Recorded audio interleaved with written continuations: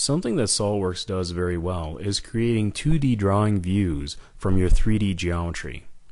But what if you want to create a drawing view that comes from an angle that isn't available from the stock uh, list of views?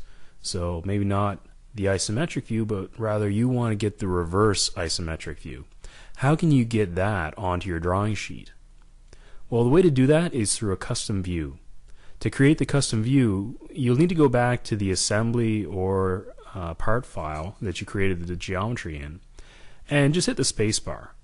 The spacebar brings up the uh, orientation uh, toolbar. And from within there, you can select the orientation that you want for the new view.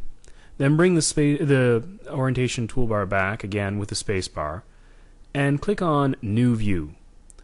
This will let you create a new saved view for the orientation that you set up in the graphics preview. Now, this is how this works in SOLIDWORKS 2013. In previous versions of the software, the interface looks slightly different. Let's just switch back to 2012. And you'll notice that when you hit the spacebar, your orientation uh, toolbar looks a little bit different, but it still has that option there for the name view. So you can just add that in and immediately it'll become available in that list.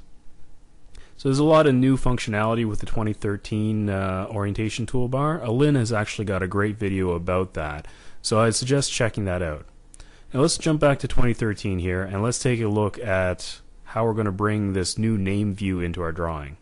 Well, it's actually really easy. We're just going to go to our um, drawing uh, view palette and we're going to refresh it.